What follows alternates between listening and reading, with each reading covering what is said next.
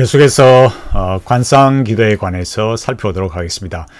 과연 김순성 교수님께서 말씀하시는 젠 존선 또 달라스 윌라드가 기획한 이 경청기도라는 것이 과연 어, 청교도적이고 또 개신교적인 관상기도인가 이런 부분을 우리가 자료에 근거해서 정확하게 살펴보도록 하겠습니다. 제가 문제시 삼고 있는 것은 어, 김순성 교수님의 뭐 다른 책들을 또 자료들을 말할 수 있지만 어, 그 어떤 것보다도 에, 김순성 교수님께서 의미를 부여하고 있는 에, 이 기고 글에 나와 있는 대로 달라스 윌라드가 기획한 아, 여기에 말했듯이 어, 영성 신학자 달라스 윌라드 영성 개발 시리즈 경청기도라는 걸 어, 청교도 전통에 기초한 말씀 중심의 묵상기도 일종의 개신교적 어, 개신교적 관상기도다. 신비주의적 관상기도를 배격한다. 이렇게 말했습니다.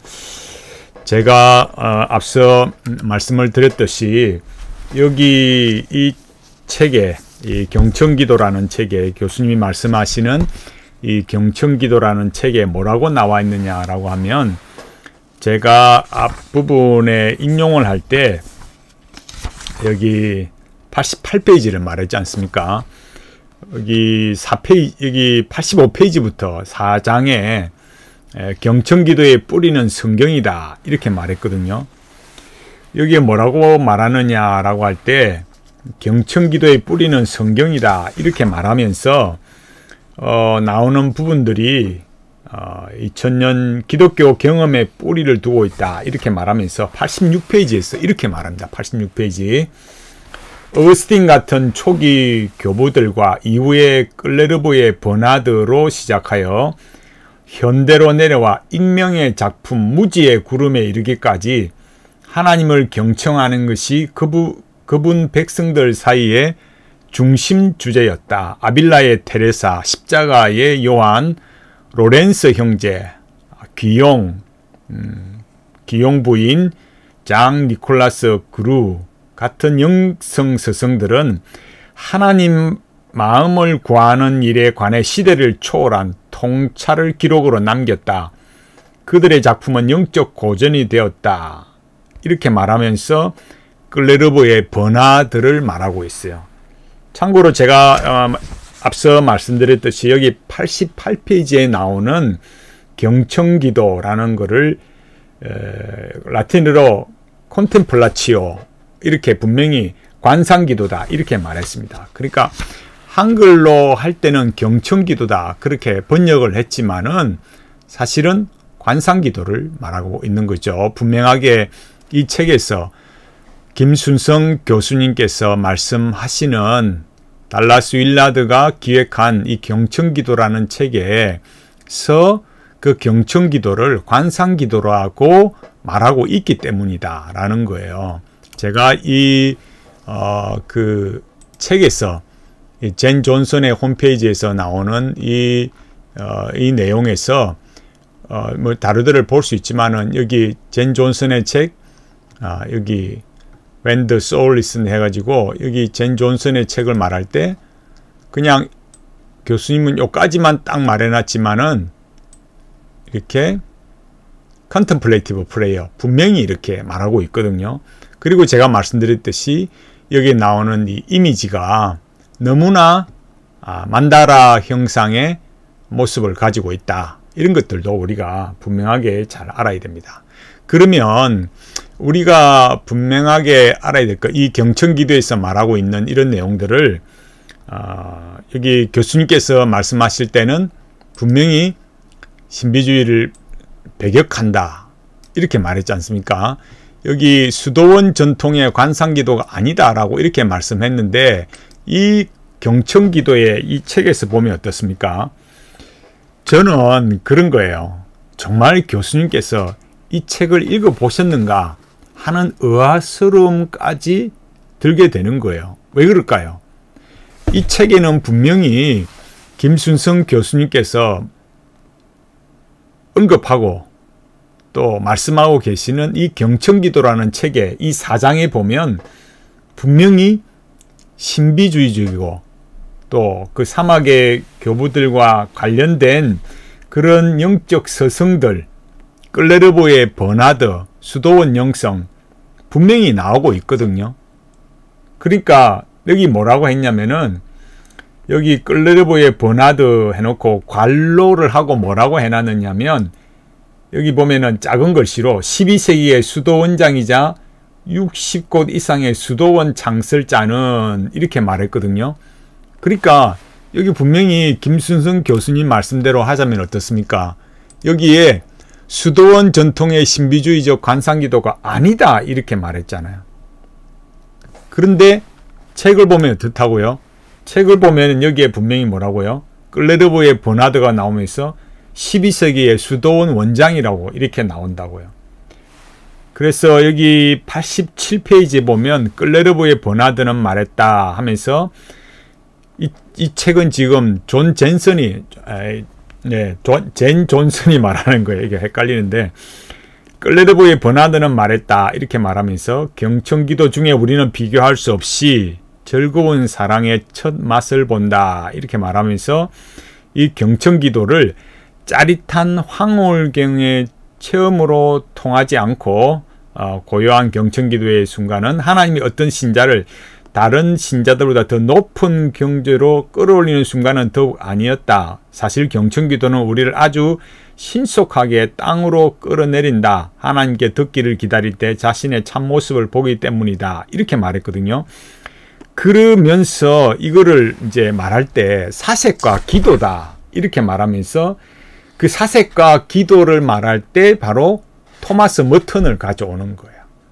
그러니까 어떤 지금 여기에서는 끌레르브의 버나드의 경청기도 컨템플레치오를 말할 때 여기에 어떤 황홀경을 말하지 않고 이 무지의 기루, 구름 저자를 말하면서 텅 빈 머리 허황된 망상이 아니라 사색과 기도다 이렇게 말하면서 그거를 입증하기 위해서 젠 존슨이 그거에 대한 타당한 근거를 가져오기 위해서 누구를 말했느냐 할때 20세기 수도사 토마스 머턴도 같은 생각이다 라고 하면서 경청기도는 렉시오 디비나의 네 번째 그 단계의 아, 마지막 경청기도, 관상기도, 컨템플라치오에 해당한다 이렇게 말했어요.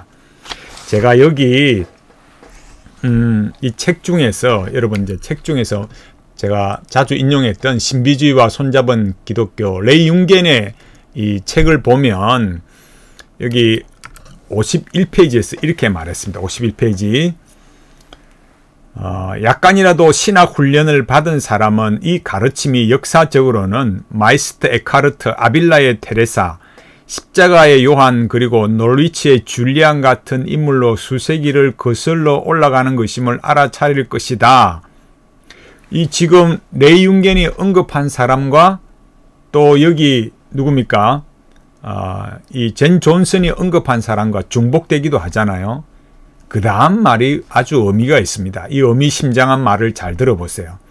레이윤겐이 이렇게 말했습니다.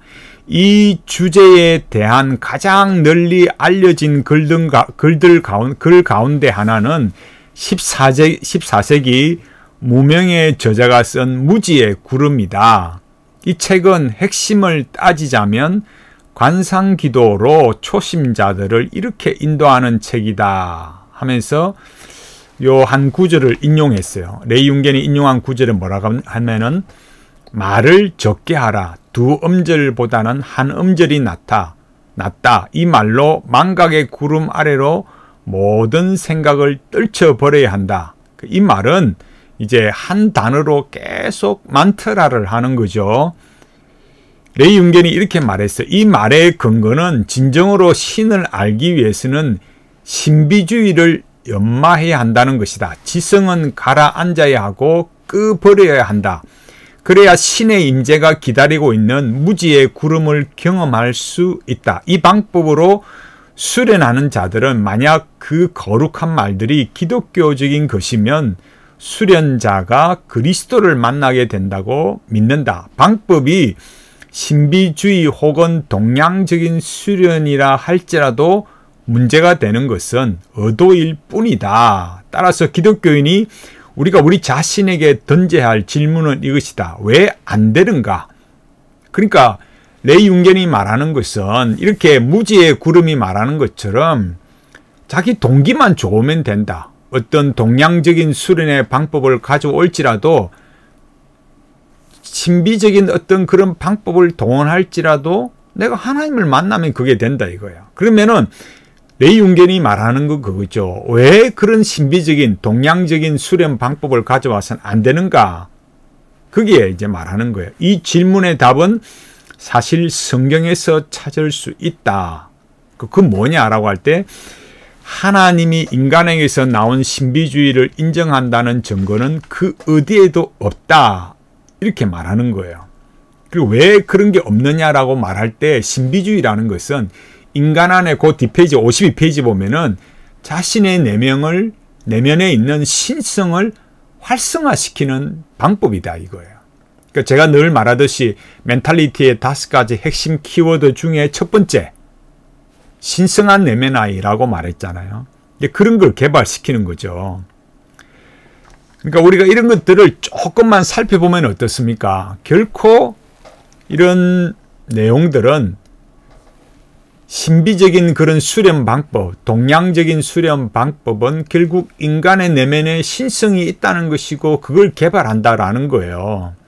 여기 이 책에서 레이 윤견이 말하는 내용이나 경천기도에서 젠 존슨이 말하는 거나 다르지 않는 거죠. 그러니까 다르지 않다라는 게 무슨 말이냐면 똑같 그 레이 윤견의 말이 이 젠 존슨의 말과 똑같다는 게 아니라 젠 존슨이 언급한 그런 신비주의자들과 이 달라스 윌라드를 비롯한 이 많은 사람들, 아빌라의 테레사 이런 사람들이 그 근원으로 돌아가서 말하는 이 무지의 구름을 비판하는 이 레이 융겐의 말을 보면, 그러니까 그런 레이 융겐의 그런 비판을 보면 결국 그런 신비적인 자리에 간 사람들이 같은 맥락을 가지고 있다 이거예요. 그러니까 거기 안에는 그 같은 맥락이라는 게 그것이 결국 여기 젠 존슨이 이 무지의 구름을 말했듯이 그 무지의 구름에 나오는 게 뭡니까?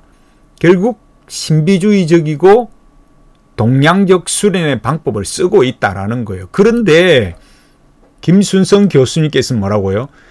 수도원 전통의 신비주의적 관상기도가 아니다. 또 신비주의적 관상기도를 배격하며 그리고 청교도 전통에 기초한 말씀 묵상기도이고 일종의 개신교적 관상기도인 셈이다. 이런 걸 보면 제가 앞서 말씀드렸듯이 정말로 김순성 교수님께서 이 경청기도 젠 존슨의 달라스 윌라드가 기획하고 젠 존슨이 쓴 이 경청기도 컨템플라치오 관상기도라는 이 책을 실제로 읽어보셨는가 의아심이 드는 거예요. 읽으셨다면 왜 분명히 신비주의적이고 동양적 수련 방법을 쓰고 있고 수도원적 영성 끌레르보의 번화들을 말하고 있는데 왜 이렇게 말씀을 하셨을까라는 거예요. 특히 이런 무지의 구름 이렇게 말하면 분명히 수많은 사람들이 아 이런 거는 분명히 신비주의적인 관상기도의 아주 원조에 해당하는 건데 왜 이렇게 말, 말했는가? 여기에 어떤 의문점이나 비판이 없이 김순성 교수님께서는 일종의 개신교적 관상기도다. 청교도 전통에 기초한 말씀 중심의 묵상기도다. 과연 이렇게 말씀하실 수 있느냐라는 거예요. 그럴 수는 없는 거죠. 왜요? 경청기도라는 이 책 자체가 경청기도라는 책 이 자체가 그렇게 젠 존슨이 이미 뭐라고요? 제가 앞서 말씀드렸잖아요. 여기 86페이지에서 아빌라의 테레사, 십자가의 요한, 로렌스 형제, 기용, 부인, 장, 니콜라스, 그루 이런 사람들을 영적인 스승으로 끌레르보의 버나드 이런 사람들을 인용하고 있는 거예요. 우리가 이런 부분들을 심각하게 살피지 않으면 우리가 어떤 토론이나 논쟁을 하고 또 논정을 할 때도 분명하게 학문적 근거, 자료적 근거를 가지고 그 말하는 의미가 무슨 의미가 있느냐라는 거예요. 정확하게 자료를 가지고 말해야죠. 여기에 경청기도에서 언급한 이런 이 언급된 이런 사람들 아빌라의 테레사나 십자가의 요한이나 로렌생제 기용 부인 짱 니콜라우스 그루 이런 사람들이 정말 청교도적 전통이고 신비주의가 아니고 개신교적이고 신비주의를 배제하고 이런 거냐 이거예요. 결코 증명할 수 없습니다. 왜요? 관상기도나 신비주의 기도 또 동양의 수렴 방법과 합해진 그런 걸로 이미 예, 여기 레이 융겐의 책에서도 잘 말해주고 있기 때문에 그렇습니다. 제가 지금은 요 부분만 제가 말씀을 드릴 거예요. 그러니까 우리가 책을 조금이라도 이 경청기도, 관상기도라는 이 컨템플라치오를 조금만 이렇게 보면 김순성 교수님의 주장과는 전혀 그렇지 않다. 라는 것들을 분명하게 알 수 있는 겁니다. 그래서 우리가 현대 관상기도, 하나님의 음성 듣기, 이런 것들이 너무 이렇게 당연하게 이루어져 와 있지만은 사실은 이 달라스 윌라드가 레노바레 리차드 포스터 이런 사람들, 퀘이커 교도 이런 사람들과 직접적으로 관련 영향을 맺고 있기 때문에 제가 말씀을 드렸잖아요. 지금 젠 존슨이 이 관상기도를 끌레르보의 번화들을 말하고 무지의 구름을 말하면서 토마스 머튼도 같은 생각을 하고 있다고 말하잖아요. 토마스 머튼은 로마 카톨릭 신부이고 선불교로 간 사람이에요. 우리가 이런 내용들을 조금만 알면 결코 수많은 교수들과 그 유명한 목사님들이 관상기도 혹은 어떤 영성으로 이 기독교를 변질시켜 가는 것을 결코 성경적이라고 말할 수가 없다라는 거예요. 제가 계속 말씀드리지만 저도 정말 이런 일에 몰랐어요. 왜 그렇습니까? 다 좋다고 하니까요. 그 유명하신 목사님들이 다 좋다고 하니까. 그러나 우리가 조금만 살펴보면 결코 그렇지 않다라는 거예요. 왜 그렇습니까? 실제로 관상기도는 신비주의적 전통이고 수도원적 전통이고 거기에 동양적 수렴 방법을 가져오고 그 동양적 수렴 방법들은 인간 안에 신성이 있다라는 것이고 존재론적 신성화로 간다라는 거예요. 그러니까 선불교로 가게 된다 이거죠. 관상기도를 하게 되면 역사가 그래 온 겁니다. 그걸 부인할 수 있겠습니까? 우리가 어느 한 그 과정을 볼 때 또 우리가 어, 이 신앙생활 하는 과정을 볼 때 처음부터 완벽한 사람이 누가 있겠습니까? 지금도 저 자신도 아직 너무너무 부족하고 한없이 부족합니다. 저는 결코 제가 무슨 좀 더 많이 알아서 자랑하려는 게 아니라 정말 제가 속한 이 고신교단이나 이 한국 교계가 이런 비성경적인 걸로 오염되고 변질이 되어서는 안 된다라는 거죠. 누군가는 말을 해줘야 되지 않겠습니까? 또 우리가 이런 부분을 알면 성도들에게 또 목사님들이나 교수님들도 마찬가지고 우리가 어떤 음, 노력하고 뭐 또 나름 알아가려고 하다가 그런 것으로 오염이 될 때도 있는 거죠. 그걸 정당화한다는 게 결코 아니고요. 그러나 우리가 조금씩 알아갔을 때, 아, 이건 아니구나. 이건 잘못됐구나. 라는 걸 알게 되면 그만두고 성경적인 기도로 돌아와야 되는 거죠. 제가 늘 말씀드리지만 부족한 것은 우리가 부족한 거지 성경이 부족하고 하나님의 말씀이 부족하지 않습니다. 우리가 더 어떤 기도의 어려움을 봉착하면 말씀을 읽고 또 우리보다 더 탁월한 그런 경건의 모습을 가지고 또 좋은 경건 서적이나 칼빈의 기독교 강요나 여러 많은 이런 경건 서적들이 우리에게 있지 않습니까? 보고 배워야 되는 거죠. 오늘날 많은 사람들이 과거의 이 개혁신앙의 책들을 버리고 현대의 이런 관상기도 영성에 오염돼 가고 있습니다. 우리가 정말 뭐 실수할 수 있고 또, 또 잘못됐다가 돌이키는 것이 우리의 모습이 아니겠습니까? 하나님께서 우리에게 원하시는 거, 우리가 뭐 퍼펙트하게 인간이 어떻게 그렇게 할 수 있겠어요? 저도 마찬가지고 우리가 함께 그런 부분들을 고민하면서 아, 이건 잘못된 거야. 이건 성경적이지 않아. 하나님께서 원하시는 게 아니야 라고 생각이 들었을 때는 돌이키면 되는 겁니다.